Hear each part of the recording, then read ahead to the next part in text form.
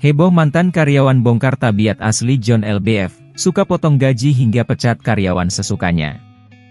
Mantan karyawan John LBF kini muncul dan membongkar sikap mantan atasan yang ia sebut kerap memotong gaji hingga pecat karyawan. Seperti diketahui, sosok pengusaha John LBF belakangan ini tengah viral di media sosial menawari Tiko anak ibu Eni untuk bekerja di salah satu perusahaannya dengan gaji 10 juta rupiah per bulan. Tak hanya itu, John LBF juga menawarkan Citra, ex-karyawan Alfamart yang diperlakukan tak baik oleh seniornya. Lebih lanjut, John LBF juga menawarkan pekerjaan dengan sosok Sultan Ahyar yang viral konten nenek mandi lumpur. Namun, di tengah kebaikan John LBF yang tengah melambung, baru-baru ini terdapat curahan hati diduga mantan karyawannya yang membongkar tabiat asli pria bernama asli Henry Kurnia Adi tersebut.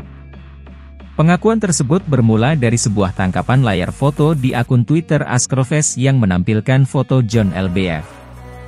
Salah satu akun yang bernama Septiat yang diduga mantan karyawan John LBF akhirnya membalas cuitan Twitter dengan membongkar tabiat asli sang bosnya sembari menyertakan bukti foto percakapan WhatsApp yang diduga dari grup perusahaan John LBF.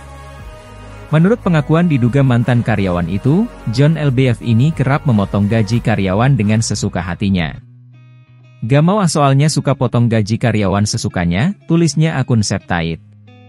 Namun tindakan yang semena-mena itu justru tidak diketahui oleh publik dan ditampilan John LBF di media sosial.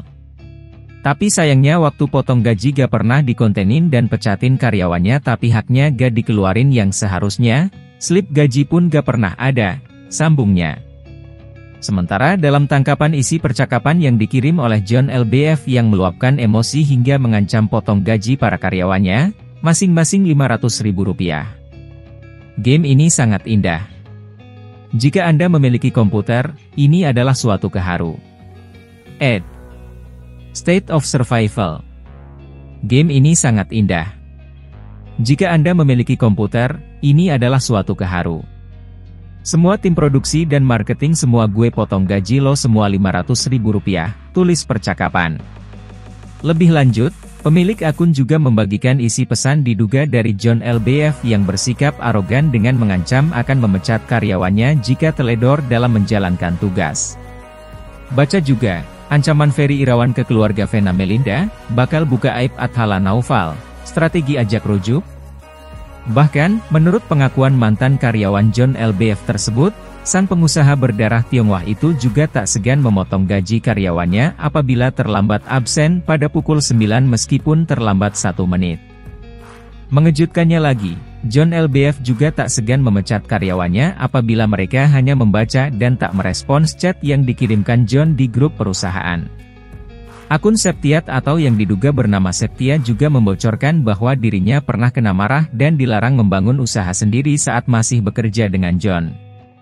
John juga berkali-kali mengganti HRD perusahaannya karena hal-hal yang sepele dan membuatnya marah. Salah satunya Septia yang akhirnya mengundurkan diri setelah 21 bulan bekerja bersama John. Sekian terima kasih. V bukti dua chat dari beberapa pihak ex karyawannya maka background chat atau pengambilan gambarnya berbeda dua. Kebetulan pihak dua tersebut memang sudah tidak bekerja lagi di sana. Biasanya habis ini bakal ada omongan akan disoma segaes, tutupnya. Hingga kabar tersebut heboh, pihak John LBF belum menanggapinya. Sebagaimana diketahui sebelumnya, sosok John LBF kini tengah jadi sorotan setelah menawari Tiko untuk bekerja di salah satu perusahaannya. Diketahui jika sebelumnya John LBF merasa iba dengan kisah Tiko yang merawat Ibu Eni yang depresi selama 12 tahun di rumah mewah tanpa listrik dan air. Sehingga, John LBF selaku pengusaha terkenal menawari Tiko pekerjaan dengan iming-iming gaji 10 juta rupiah per bulan. Atas hal tersebut tak sedikit yang menyoroti sosok John LBF. Sosok John LBF memiliki nama asli sebagai Henry Kurnia Ardi. John LBF diketahui adalah pria kelahiran Tangerang, Banten pada tahun 1985. Ia merupakan seorang pengusaha yang memiliki berbagai macam bisnis dengan kategori di usia muda. John LBF juga dikenal sebagai orang yang sukses dan kaya raya. Ia sendiri memulai karirnya sebagai pengusaha pada tahun 2018 lalu. Kala itu John LBF menerima banyak hinaan dan cacian negatif dari beberapa pihak. Namun hal tersebutlah yang membuatnya ingin merubah hidup.